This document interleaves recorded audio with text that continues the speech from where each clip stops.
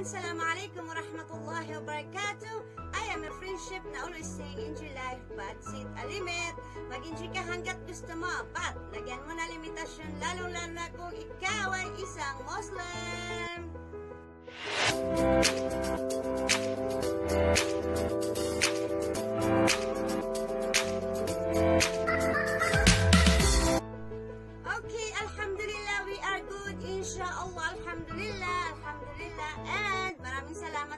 Lahat ng mga nanonood ng aking video.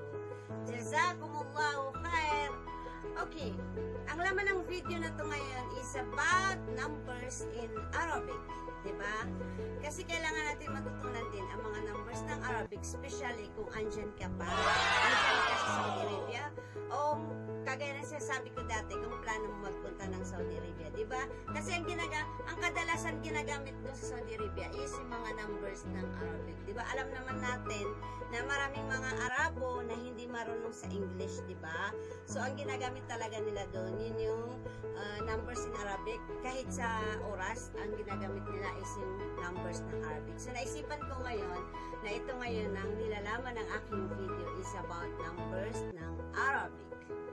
Okay, start na tayo. Uh, ay, ay tuturo ko sa inyo ngayon yun yung from zipper to ashara. Meaning, uh, from 0 to number 10. Okay. Numbers in Arabic is raqam. Okay? Numbers in Arabic is rakam.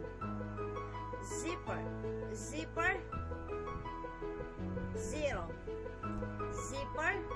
Zero. Wahid. One. Rakam wahid. Number one.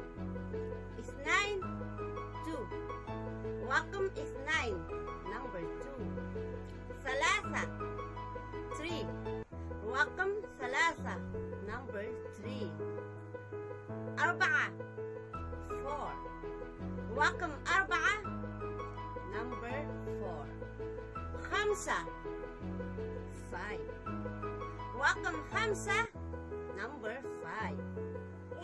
ستة six. رقم ستة number six. سبعة seven. رقم سبعة number seven. eight. ثمانية.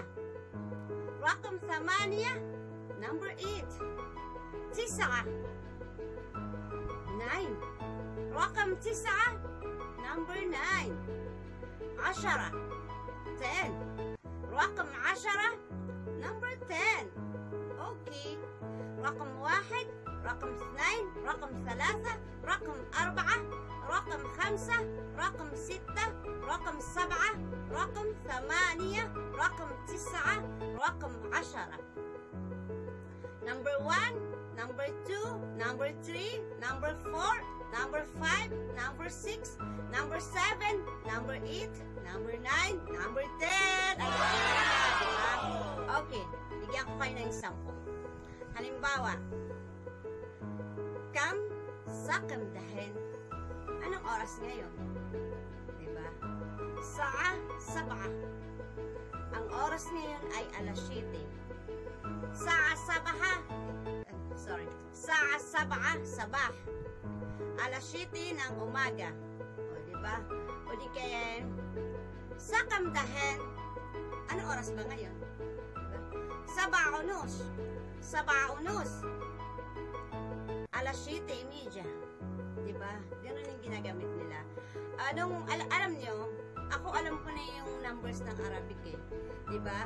Pero sa tagal ng panahon na hindi ko na siya nare-review. Diba? Kasi sa tagal ba naman na uh, ano, ang ginagamit natin o minsan talaga kadalasan pag di sa Pilipinas ang ginagamit natin yung uh, ano eh, numbers in English, 'di ba? Hindi natin nagagamit yung numbers in Arabic kahit na nakapagtapos ka pa o alam mo 'yun, 'di ba? So nang nung andun ako, andun ako sa Saudi, minsan nalilito pa talaga ako, 'di ba? Sabi ko, Khamsa. Ano ba yung Khamsa? Bibilangin ko pa yan. Ah, number 5. Minsan talaga, nalilito pa ako kasi sa tagal ng panahon na hindi ko siya ginamit.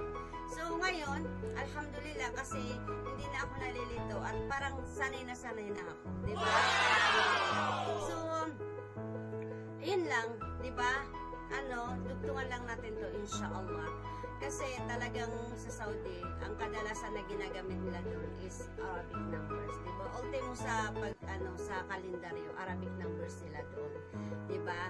So inshallah ituturo ko din sa inyo yun, inshallah. So kung hindi ka pa nakakapag-subscribe sa channel ko, mag-subscribe ka na and don't forget to click the small bell dyan para lagi ka updated sa mga video na ginagawa ko. And maraming maraming salamat po ulit sa lahat ng mga nanonood ng aking video Syukran, jazilan at sana may natutunan ka sa araw na sa araw na ito.